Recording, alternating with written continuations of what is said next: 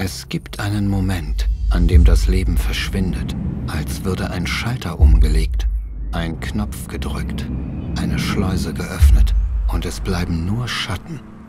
Wenn der Punkt erreicht ist, geht es leicht, ganz leicht. Wenn der Schalter umgelegt ist, wenn die Schleuse geöffnet ist, kann man Unverzeihliches tun. Dinge, die man nie vergisst. Dinge, die man nie begreift.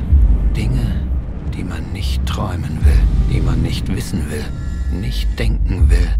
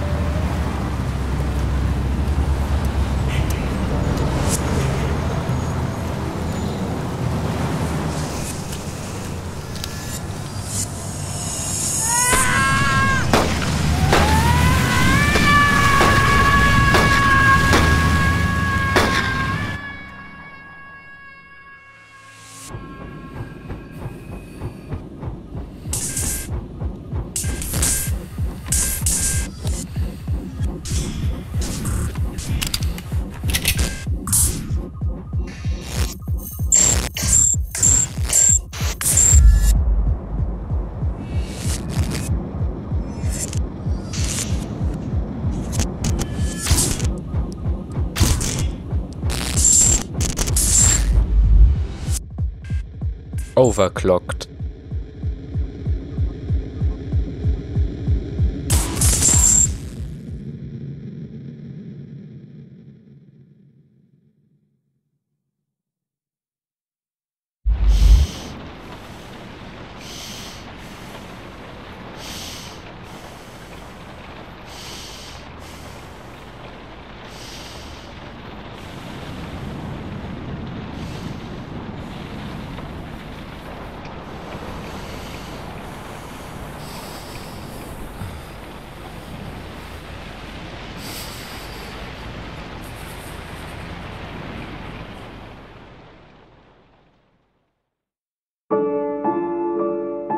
Kapitel 1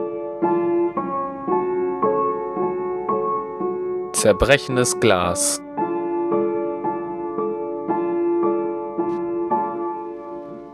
Skyline Hotel, New York City, Sonntag, 11. November 2007, Vormittag. Und damit komme ich auch mal zu Wort. Mein Name ist Kator, für die, die mich noch nicht kennen. Und ich spiele heute mit euch Overclocked, eine Geschichte über Gewalt. Ich glaube, es ist immer noch so eine Sequenz zugange, weil ich kann nichts machen. Dann bin ich doch vielleicht noch mal eine Sekunde still.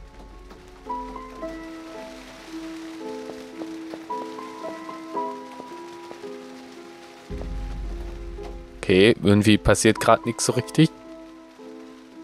So, dass er sich jetzt im Spiegel anguckt. Also ich steuere hier noch gar nichts. Also noch funktioniert alles automatisch. Bei Overclock scheint es sich um einen Thriller zu handeln aus dem Jahre 2007 von den Machern von The Moment of Silence, was ich zwar nie gespielt habe, aber was scheinbar auch ein bekanntes Spiel ist. Ich weiß es nicht, ich kenne es nicht. Darf ich jetzt was machen? Ah, jetzt darf ich was machen. Sehr schön.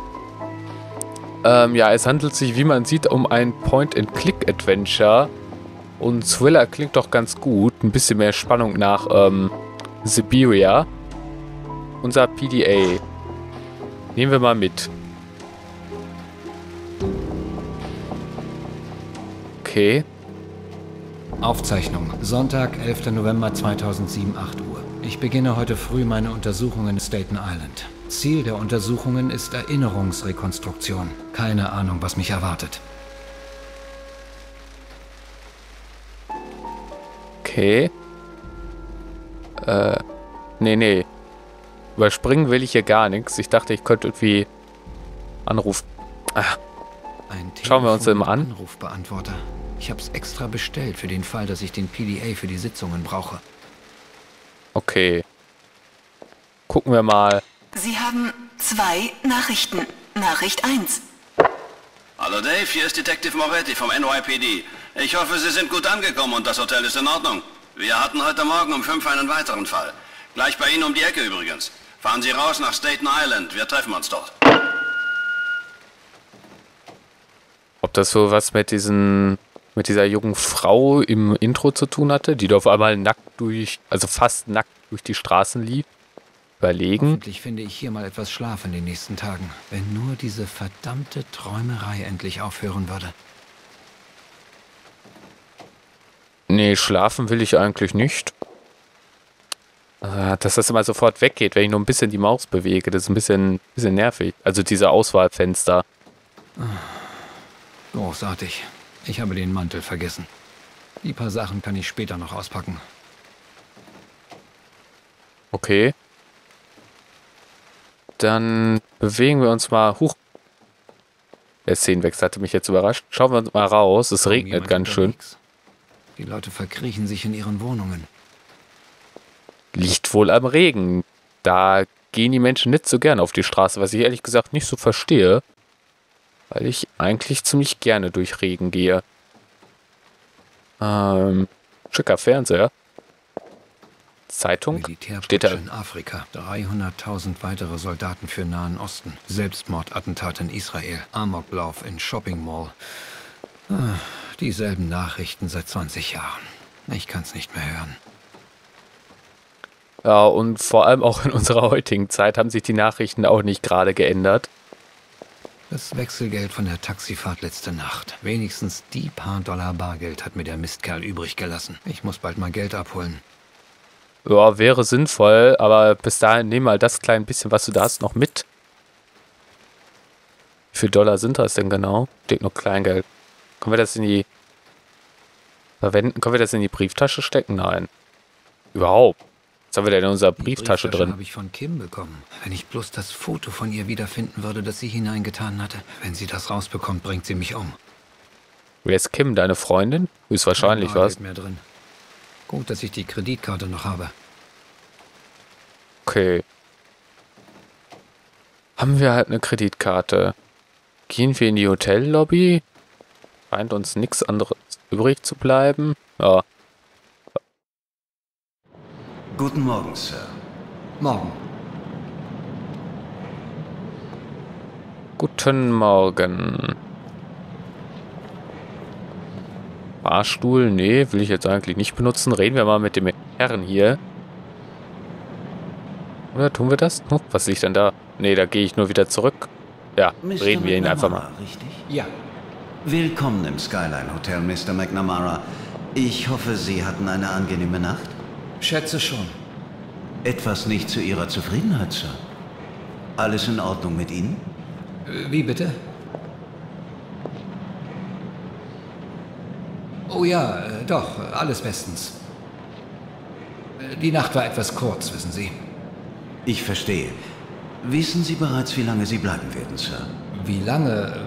Nein, noch nicht. Wer weiß, vielleicht fahre ich gar nicht mehr zurück. Sir?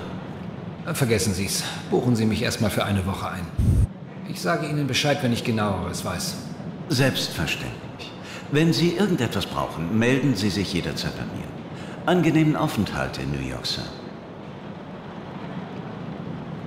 Ah, in New York. Aber das hatten wir, glaube ich, schon vorher geklärt. Ich weiß nicht. Informationen, ja, was denn Ich für bräuchte welche? Noch ein paar Auskünfte. Ah, okay. So läuft dieses Dialogsystem also ab. Geld, Kneipe, Kneipe, beste Frage. Hospital. Warum wollen wir wissen, wo ein Hospital ist? Gewitter. Erstmal ein bisschen Smalltalk. Furchtbares Wetter da draußen. Wie lange geht das schon so? Über eine Woche, Sir. Die Stadtverwaltung musste die Brooklyn Bridge sperren lassen wegen Sturmschäden. Es traut sich kaum noch jemand auf die Straße. Und ich lasse meinen Mantel zu Hause liegen. Im Moment regnet es nicht ganz so stark, Sir. Wenn Sie dicht an den Häusern entlang gehen. Dauert es ein paar Minuten länger, bis ich durchgeweicht bin. Vermutlich. Vielleicht lassen Sie sich ein paar Sachen nachschicken von Mrs. McNamara. Ja, vielleicht. Seltsames Gespräch. Ähm, ja, wo können wir Geld Wo ist hier abheben? in der Gegend der nächste Cashpoint? Sie können bei uns mit Ihrer Kreditkarte bezahlen, Sir. Sicher, nur für den Fall. Ich habe mein letztes Bargeld gestern Nacht dem Taxifahrer in den Rachen werfen müssen. Für die Stadtrundfahrt. Sagen Sie, sieht man mir das eigentlich an, dass ich mich hier nicht auskenne? Die Cabbies hier in New York haben leider wenig Skrupel. Sie sind eingeschlafen im Taxi? Genau. Tut mir wirklich leid, Sir. Gleich hier in der Straße ist ein Automat des United Bank Trust. Er funktioniert auch gelegentlich, habe ich mir sagen lassen. Na, bestens. Super. Äh, äh, fragen wir nach dem Krankenhaus. Ich wüsste zwar nicht, warum wir das wissen wollen, aber egal. Ich muss rüber nach Staten Island. Wie komme ich da am besten hin? Sie nehmen die Staten Island Ferry. Den Anleger finden Sie an der Südspitze Manhattans. Okay, also wirklich die Fähre, ja? Das wird wohl kein Spaß bei dem Wetter. Es könnte etwas schaukeln, Sir. Aber sicher ist das Ding. Nun, natürlich hatten wir bisher noch nie ein solches Unwetter. Aber wenn das Risiko zu groß wäre, würde die Fähre nicht fahren. Aha. Na, dann will ich mal das Beste hoffen. Hä, irgendwie ist das Gespräch derbe seltsam zwischen diesen beiden. Vor allem, weil die immer Stunden Pausen machen, bevor die irgendwie ihr Gespräch weiterführen. Kneipe. Sagen Sie, wo kann man hier in der Gegend ein Glas trinken gehen? Jetzt, Sir? Nein, ganz so schlimm ist es noch nicht. Eher heute Abend. Unsere Bar hat bis 23 Uhr geöffnet. Es sind auch einige Lokale in der Nachbarschaft. Das Nighthawk ist gleich nebenan. Empfehlenswert? Wenn Sie mich fragen, Sir, eingeschränkt empfehlenswert. Es hat einen etwas zweifelhaften Ruf. Verstehe. Ich komme schon klar. Also total empfehlenswert bei zweifelhaften Ruf. Äh, Sie Karte. vielleicht einen Stadtplan für mich? Natürlich, Sir. Bitte sehr. Besten Danke sehr. Dank. Schreiben Sie es aufs Zimmer. Gern. Okay, besten Ah. Dank erstmal, Mr. Flint, Sir. Mr. Flynn. Bis später. Mr. Flynn, aha. Ein Karte. Stadtplan. Ich kenne mich nicht so gut aus. Gut, ihn dabei zu haben. Ich komme nie mit Stadtplänen klar. Muss ich ganz ehrlich sagen, aber ihr wisst Ich ja auch von meinem... lieber den Fahrstuhl. Okay. Aber ihr wisst ja auch schon von meinem schlechten Orientierungssinn. Glasbond, Zeitungen, wir holen uns erstmal... Ich bin so...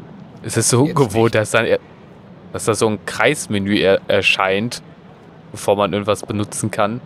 Anstatt so mit guten Rechts- und Linksklick hier zu arbeiten. Verdammt, es schüttet. Was fällt dir jetzt erst auf? Moment, ich habe gar nicht alle meine Sachen dabei.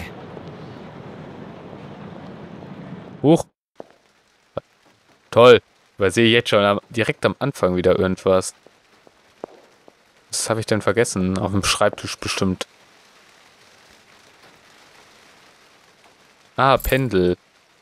Was brauche ich denn Pendel? Echt Silber. Ich hab's zur Hochzeit geschenkt bekommen von Terry. Vorher hatte ich immer dieses Ding, das ich mir schon im Studium gekauft hatte. Für 10 Dollar. Made in Hongkong. Ist der irgendwie Hypnotiseur oder sowas? Achso, da habe ich schon wieder nur abgebrochen. Ah, Anrufbeantworter.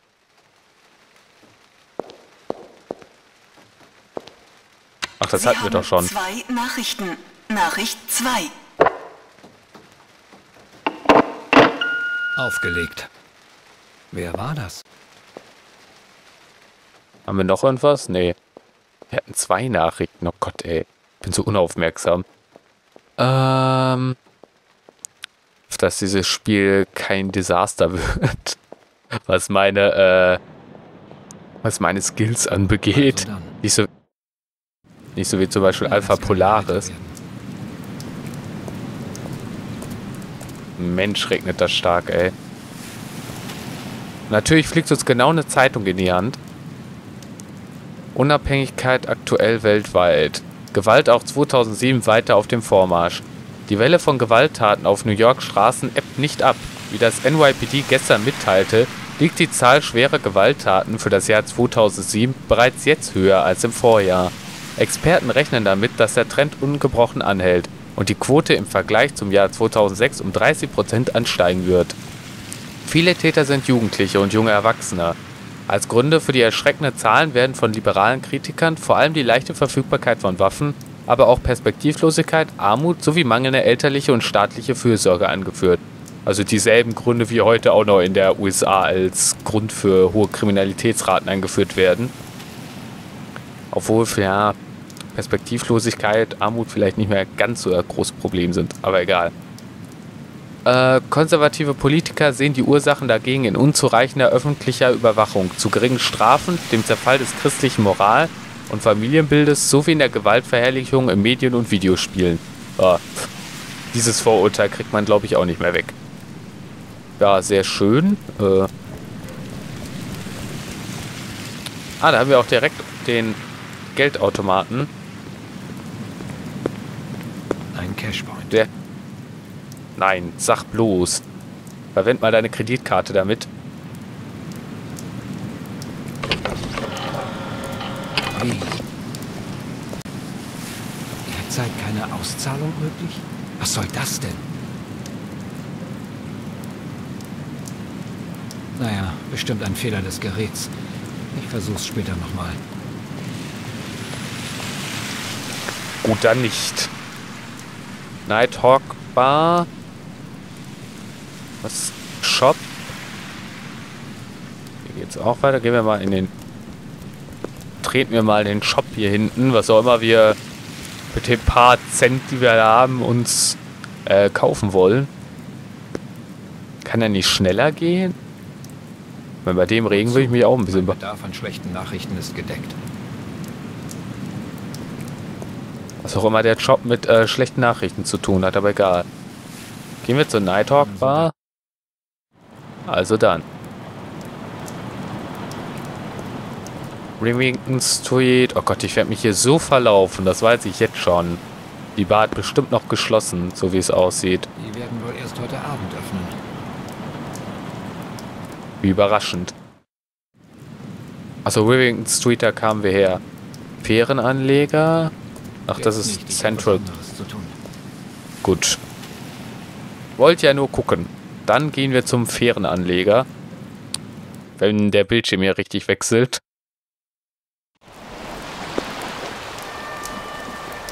Scheint noch nicht da zu sein.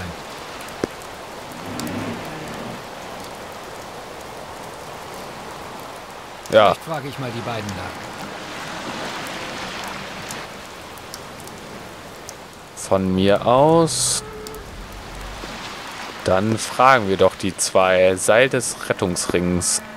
Das nehmen wir mal sofort mit. mit mir herum. Oder auch nicht. Da ist mein Sammelwahn wieder zu groß. äh, fragen wir erstmal den vertrauenswürdigen Herrn in der Jacke hier. Morgen. Morgen. Fahren Sie auch rüber? Ich will's jedenfalls hoffen. Ja, sieht nicht gut aus, das Wetter. Ich fahre zum ersten Mal, wissen Sie. Aha. Und dann gleich bei dem Unwetter. Hören Sie, Mister. Es ist ziemlich früh am Morgen. Oh, verstehe. Sie sind ein Morgenmuffel, was? Bin ich eigentlich auch. Entschuldigen Sie, es ist nur... Mister, Sie... Oh, Was denn? schon gut. Ich dachte gerade... Ich habe Sie verwechselt. Guten Tag noch. Guten Tag. Die Hintergrundgeräusche sind viel zu laut. Ich, das ist. Man hat kaum was mitgekriegt. Hey, wo gehst du denn hin? Wolltest du auch noch mit dem hier reden? Junge, Junge. Gewitter. Verdammtes Mistwetter, was? Man könnte meinen, die Welt geht unter. Unglaublich, dieser Sturm. Hören Sie mal, wissen Sie, was mich echt nervt? Äh, nein? Smalltalk übers Wetter. Ah, okay. Entschuldigen Sie. Ich bin nur ein bisschen nervös. Weißt du, wann die Fähre Sie, kommt? Fahren Sie auch mit dieser Fähre? Ja, Öfter? ja, öfter. Wir... Also, wir saufen doch nicht etwa ab damit bei dem Wetter, oder? Sind Sie nicht Schwimmer oder was? Ich will nur wissen, ob das Ding sicher ist. Sie sind nicht von hier, hm? Nein. Washington. Okay. Das hier ist die Staten Island Ferry. Wenn Sie schwimmen, können Sie sie sicher. Alles klar? Also, bis später. Nett. Ein sehr nettes Gespräch. Mit beiden. Der erste war auch überhaupt nicht suspekt. Nein, nein. Das Fernglas.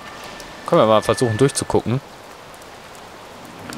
Oh, kann man nicht laufen in diesem Spiel? Oh, das wird mich noch zur Verzweiflung treiben, glaube ich. Okay. Ja, Ladies und Gentlemen, wie Sie sehen, sehen Sie nichts. Ach, ich muss Kleingeld bestimmt erst einwerfen, oder?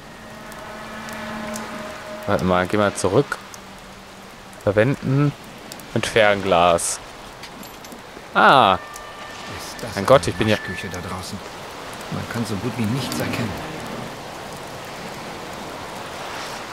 ähm...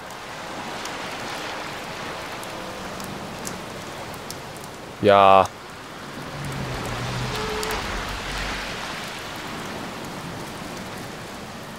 Toll. Soll ich hier irgendwas sehen können?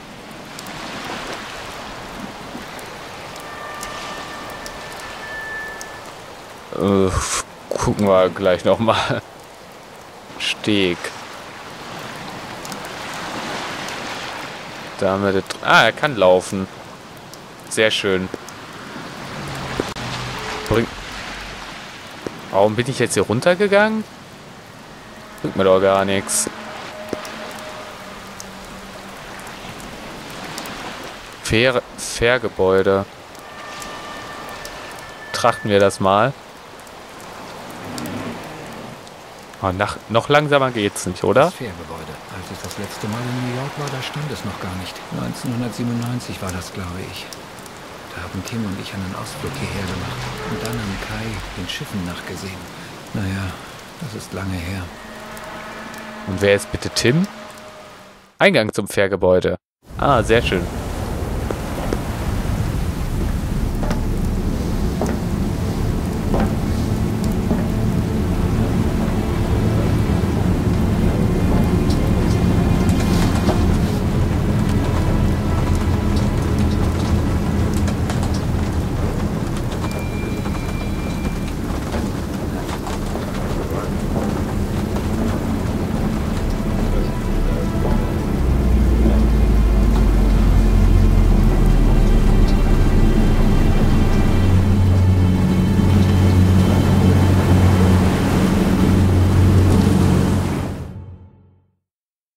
Muss es sein.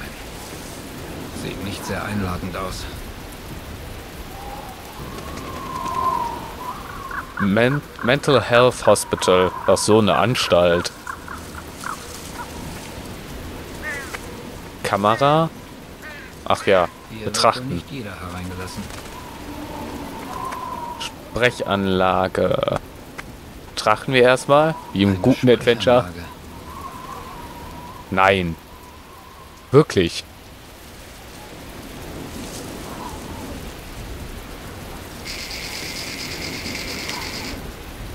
Ja? Hier ist David McNamara. Haben Sie einen Termin? Allerdings mit Dr. Young. In welcher Angelegenheit? Das würde ich gern selbst mit Dr. Young besprechen. Ich bin Psychiater aus Washington. Hören Sie, könnten Sie bitte öffnen? Es regnet. Einen Moment. Einen Moment. Gut, drin sind wir. Es ist ja wie so klassischen Horrorfilmen wie. Oh, Da steht auch direkt die Silent Hill Krankenschwester. Nein, ganz so schlimm ist es da nicht. Betrachten. Ja. Gemächlichen Schrittes geht er zum Nebengebäude. Ja, da kannst du aber laut sagen. Wer ist das eigentlich hier unten? Niemand von Interesse. Ich nehme an, wir zwei haben gerade miteinander gesprochen. Tja, was für ein furchtbares Wetter, oder? Ich habe sehr viel zu tun, Mr. McNamara. Wenn Sie mir bitte folgen wollen. Ja, sicher.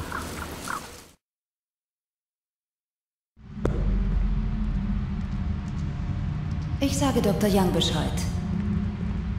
Macht das. Wir warten. Und dabei Käfigschleuse. Das Wär auch genial. ein Gefängnis als an ein Krankenhaus. Oh. Wäre ja sonst auch nicht gruselig, ne?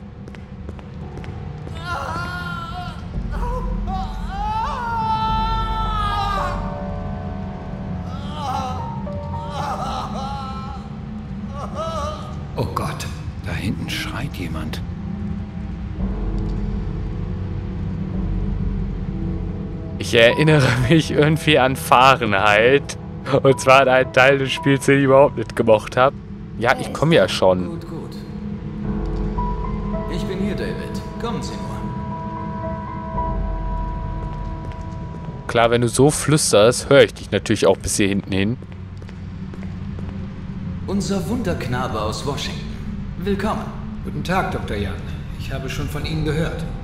Freut mich, dass wir zusammenarbeiten. Tamara, das ist David McNamara aus Washington. Er ist Spezialist für Traumapatienten. Die Regierung hat ihn uns geschickt. Weil wir ja allein nicht zurechtkommen hier draußen.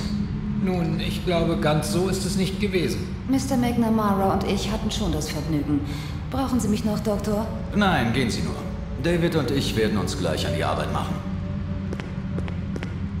Bis gleich, Tamara. Ist sie immer so? Kurz angebunden? Tamara? Allerdings, ja. Manche nennen es Effizienz. Sie gewöhnen sich daran. Aha.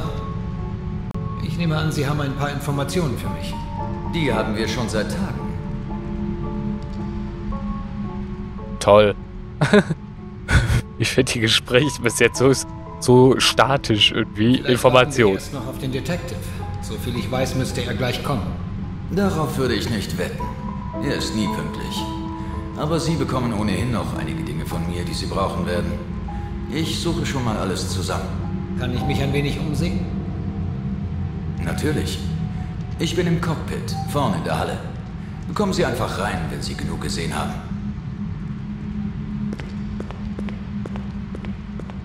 Mhm. Zelle 1. Ich habe den Schlüssel nicht. Sagt er bestimmt bei Zelle 2 Ich auch. habe den Schlüssel nicht. Welch Wunder. Uch, da kommt wer. Das ist bestimmt besagter Detective. Hey, Sie da! Ja? Was machen Sie hier? Das gleiche könnte ich Sie fragen. Hey, hey, nicht frech werden, Sportsfreund. Detective Moretti vom NYPD. Ich hätte dann gern mal Ihren Ausweis besichtigt. Und zwar plötzlich. Ich schätze, das wird nicht nötig sein, Detective. Ich bin David McNamara, forensischer Psychiater aus Washington. Ach, der Seelenklempner? Ja, der Seelenklempner. Na sowas. Dann entschuldigen Sie, Doc. Ich dachte, ihr Psychotypen hättet alle weiße Kittel an. Manche, nicht alle. Ich finde Privatkleidung weniger bedrohlich für die Patienten. Komisch. Ist bei meiner Firma genau umgekehrt. Die Leute haben viel mehr Angst vor Cops in Zivil als vor Uniform. Sie sind verdammt spät, Doc. Ja, tut mir leid. Familiäre Umstände. Es ging nicht früher. Jemand gestorben? Nein. Krankheitsfall? Hören Sie, Detective, können wir es dabei belassen? Ich konnte nicht früher kommen, okay? Sorry, Doc. Ich bin nun mal neugierig. Berufskrankheit. Wie auch immer. Sie kommen schon drüber weg. Über was komme ich weg? Hey, wer von uns beiden ist der Seelenklempner, Sie oder ich? Okay, reden wir übers Geschäft. Haben Sie sich die Bescherung schon angesehen? Ich bin gerade erst angekommen. Dann bringen wir Sie jetzt mal auf den neuesten Stand. Was dagegen, wenn wir in der Halle weiterreden? Ohne dieses Geschrei hier? Dr. Young wartet vorne im Cockpit. Wir machen das lieber ohne, Dr. Young.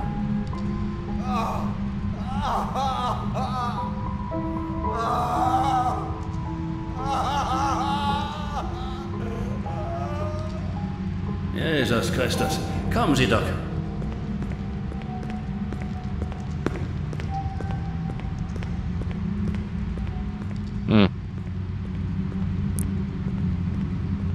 Ich würde aber sagen, ich mache hier erstmal einen Cut für die erste Folge. Ich fand die jetzt ein wenig verwirrend, diese erste Folge, zumal die Gespräche bis jetzt auch sehr komisch irgendwie waren, aber ich denke mal, das, das ändert sich noch. Ich hoffe, ihr seid auch beim nächsten Mal wieder dabei, wenn es wieder heißt Let's Play Overclocked und bis dahin macht's gut.